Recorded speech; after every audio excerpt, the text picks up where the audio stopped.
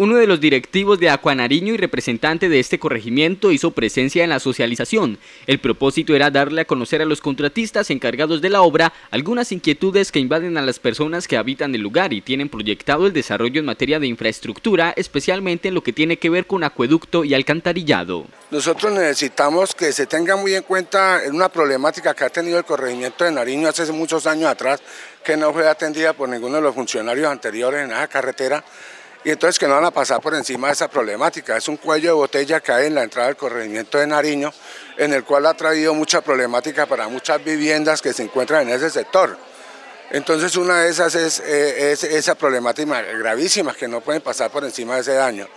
Lo otro, como acueducto, nosotros ya pasamos al consorcio eh, unos proyectos que se deben de dejar unos túneles para poder conectar hacia el futuro la capacidad urbanística que se llegue a la región y no romper la carretera, sino que por ahí podamos pasar de lado a lado lo que es alcantarillado, agua potable. El cuello de botella quiere decir que los tubos por donde circula el acueducto y alcantarillado son cada vez más angostos, lo que ocasiona que el sistema colapse y así genere taponamientos e inundaciones que han perjudicado a decenas de habitantes de este sector. Pues en esa expectativa estamos